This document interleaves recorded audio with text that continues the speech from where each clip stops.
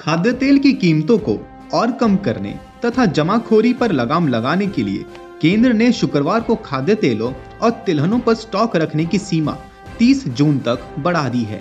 इसके अलावा सरकार ने उन स्टॉक सीमाओं को निर्दिष्ट किया है, जिन्हें उन राज्यों द्वारा लगाया जाना है, जिन्होंने स्टॉक रखने की सीमा पर पहले के आदेश को लागू नहीं किया है।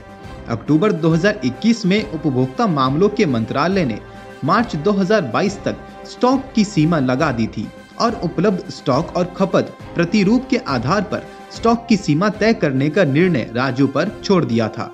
केंद्र के अक्टूबर 2021 के आदेश के अनुसार छह राज्यों, उत्तर प्रदेश, कर्नाटक, हिमाचल प्रदेश, तेलंगाना, राजस्थान और बिहार ने अपने अपने राज्यों में स्टॉक रखने की सीमा तय कर दी थी।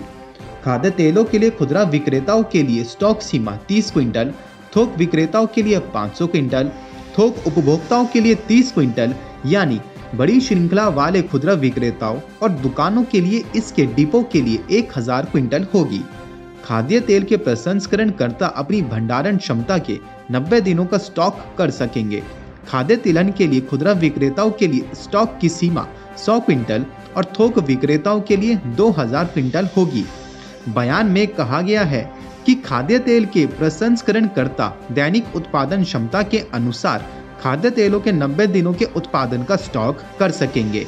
इसमें कहा गया है कि निर्यात को और आयातकों को कुछ चेतावनियों के साथ इस आदेश के दायरे से बाहर रखा गया है।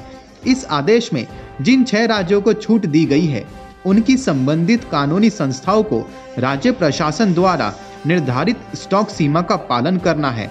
और इसे पोर्टल पर घोषित करना है। मंत्रालय के अनुसार, इस कदम से बाज़ार में जमाखोरी और कालाबाजारी जैसी किसी भी अनुचित कामकाज पर अंकुश लगाने की उम्मीद है, जिससे खाद्य तेलों की कीमतों में कोई वृद्धि हो सकती है। वैश्विक बाज़ार में तेज़ी के कारण खाद्य तेलों की खुदरा कीमतों में तेज़ी आई है। Report, market Times, TV.